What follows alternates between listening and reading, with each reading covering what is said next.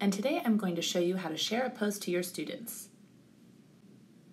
In Seesaw, teachers can create an activity and share directly to their students. Right now, I'm signed in as a teacher. Let's start with sharing an activity. First, tap the green Add button. From here, you can select Share Activity. To share an activity with your class, tap Create New. Then, fill in details of the activity including the activity name and student instructions.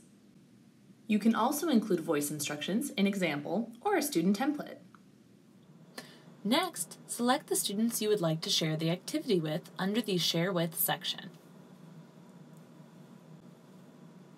Tap More Options to schedule an activity, tag the activity to a folder, tag a skill to the activity, or to publish the activity in your activity library.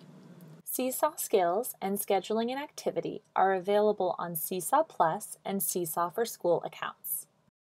Tap Preview to review the activity. Tap Share when you are ready to send the activity to your students.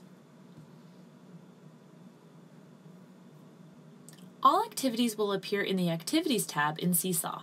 Students will tap the Activities tab to see new activities. All student responses will be stored with their name under the activity.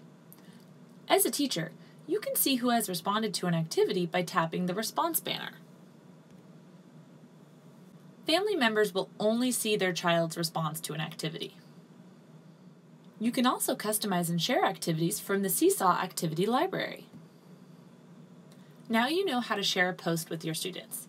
If you have other Seesaw questions, visit our Help Center at help.seesaw.me and check out our social media channels for tips and tricks for using Seesaw in your classroom.